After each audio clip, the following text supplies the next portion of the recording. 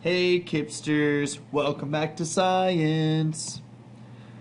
Our aim for today, Kipsters will be able to identify conductors and insulators and will be able to tell their different characteristics.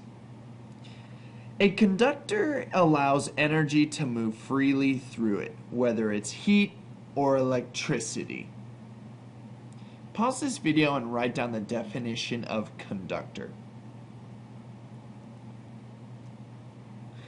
Conductors includes things like all metals such as tin, copper, nickel, iron, and aluminum. Pause this video and write down the items that are conductors. Insulators. An insulator does not allow energy to move freely through it, such as heat or electricity. Pause this video and write down the definition of insulator.